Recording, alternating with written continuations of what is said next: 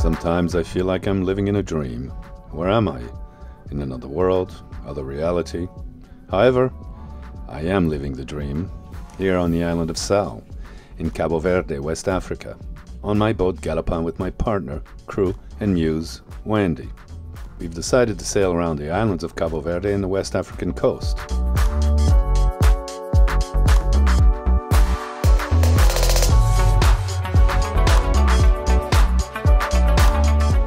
Odd couple, an African and a European, a dancing fool and a dancing queen.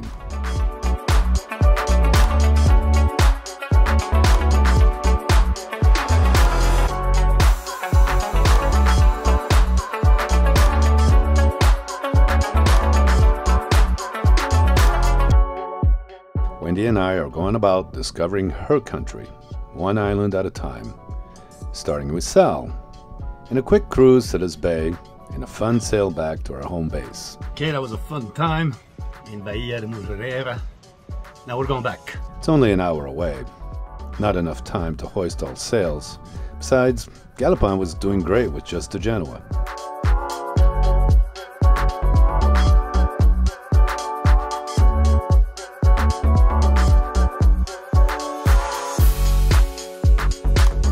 Got the Genoa up, but it's only like four miles away, so it's not worth it. And we're doing pretty good just with the Genoa.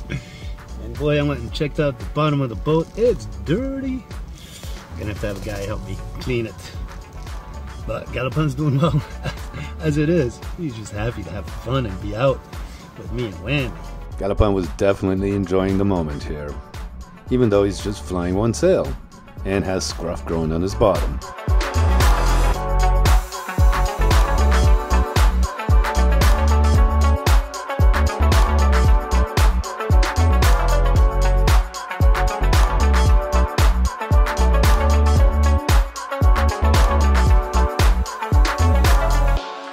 It was a short sail, then into the wind with good old Simone, the Perkins 4108 the diesel engine, to bust galloping through the waves.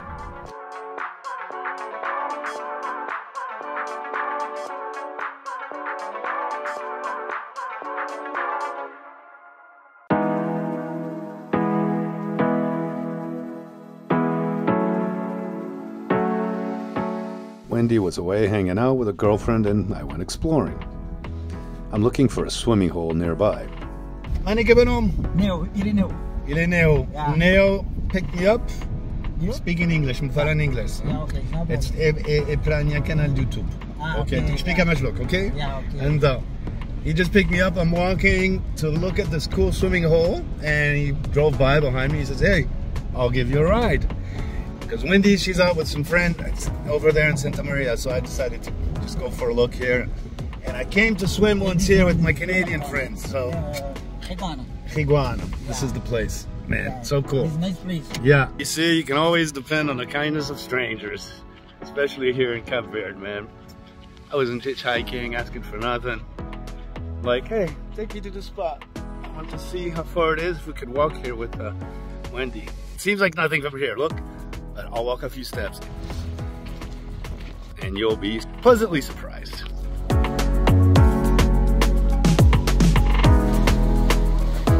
I had been here before the pandemic with my Canadian friends Peter and Dave. We actually dove off this cliff, just like this kid.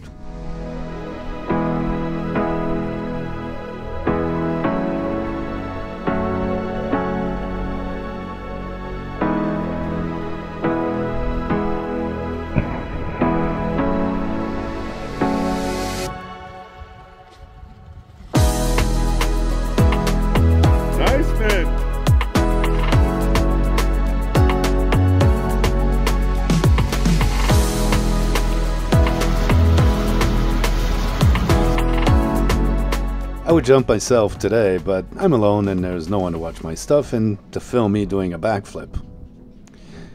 Right now, I'm scouting locations to film and shoot, as well as natural pools to swim in.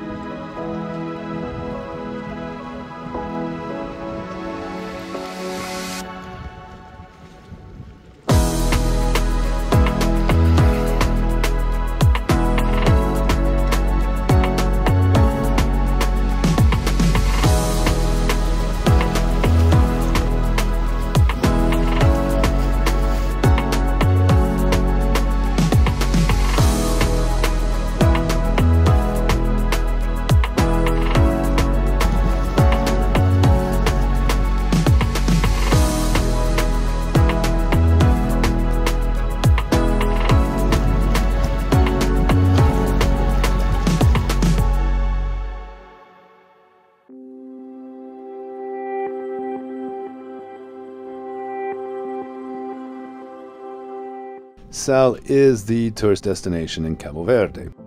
Thousands flock here from all over the world. But where are they?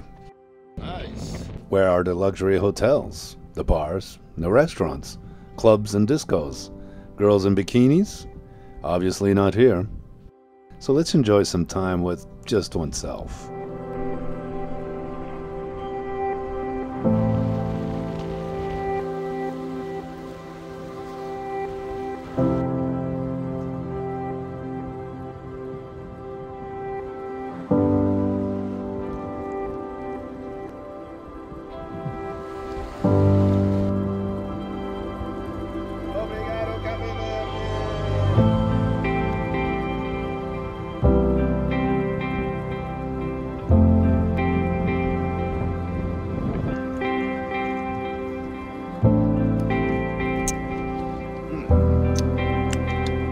Here's sea salt. You should come back here and uh, collect some, man. Just take it home in a bag and then like cook it up in a frying pan to disinfect it. Just give it a good wash and you got this natural sea salt here, man. For kids here, something else, man. Couldn't imagine letting my kids go out and do what these kids are doing. Hey mom, dad, I'm gonna go jump off a five meter cliff into a blue hole of washing tide water. And then I'm gonna go fishing right off the side of the rocks there with the tide rising and falling with no shoes on or just a pair of sandals. Man, what a life for these kids.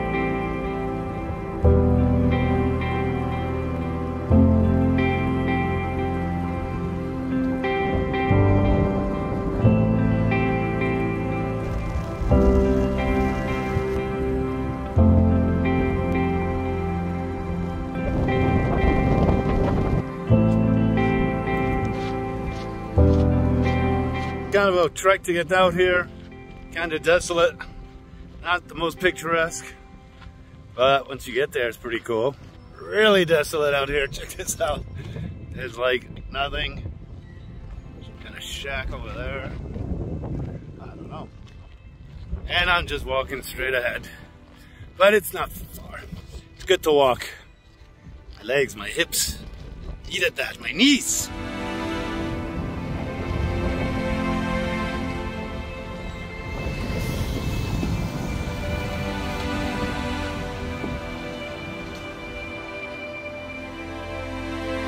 From the distance, these look like small sand dunes. And on closer look, I'm walking on seashells. You know, conch stew is a popular meal called buzio. Obviously, a lot has been consumed. Absolutely astonishing, all these conch shells. There's gotta be a way to use this stuff to recycle it. Isn't there? I mean, this is garbage. It must be somebody's treasure, no? I gotta look up what to do with leftover conch shells and if you can recycle them or turn them into something really cool. Now that was a good walk. I deserve a little grogue, Coca-Cola, and why not a cigarette? You can just buy them loose, you know? Back to home base, I was in the mood for something to snack on. One of my local favorites, fried moray eel. What chef cook moray? Yeah. Mam, lekko mi hanç ne de bu? Cuidado, vou queimar a mão. Não, vou acostumar. Tá bom, profissional, né?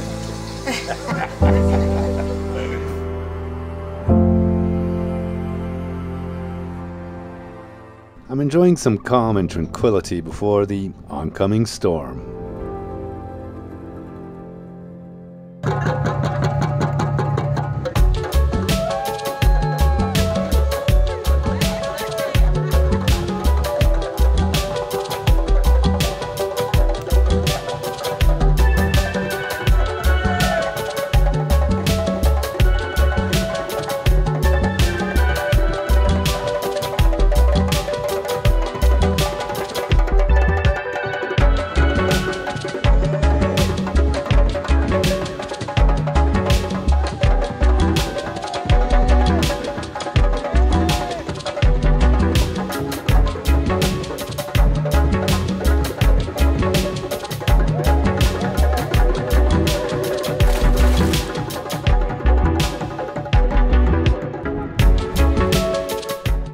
Welcome to Galopin. These are our studios, man. This is where the magic happens. It's humble, but it gets the job done. It's because of the great people like you on Patreon who make this happen. This Living Adventure series. I hope you'll join our community. We've got some extra perks like live updates, news, photos, videos, and I've even taken a stab at writing some short stories which are not for general audiences on YouTube. And our friend Graham from Australia set up a WhatsApp chat to aptly called Galopin's Cockpit. Guys from all over have joined, and it's this community that's contributing to the continuation of this living adventure series. If not, you can always watch us for free on YouTube. Make sure to give us a like or a dislike, make a comment, make your opinion heard. I'll try to get back to you.